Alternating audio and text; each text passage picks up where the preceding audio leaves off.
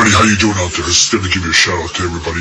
This is my this is my uh, podcast at the every hour at, on the hour. Well, it's not really every hour the hour.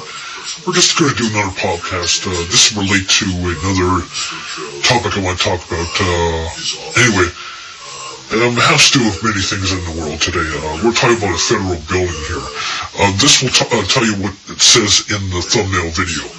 Uh, what you need to know. Um, this will tell you about the federal building and the court system in the United States.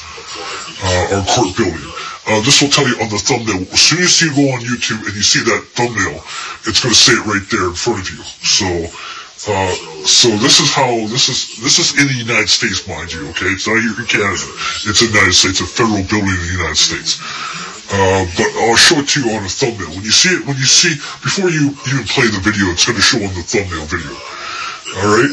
So, this is the, this is the uh, federal building and the court building in the United States for George W. Bush. It reads George W. Bush in the middle. Uh, so, this is what I'm going to say. So, for all you people, if you're wondering what I put up there on the thumbnail video, this is what it is, okay?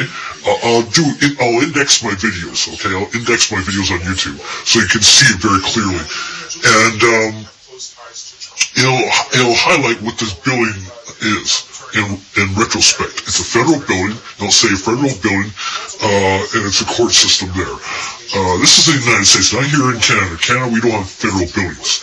It's, um, uh, the United States, they have federal, few of them in the United States. I don't know where they are located, but they're somewhere in, uh, in the United States. But this is one of them.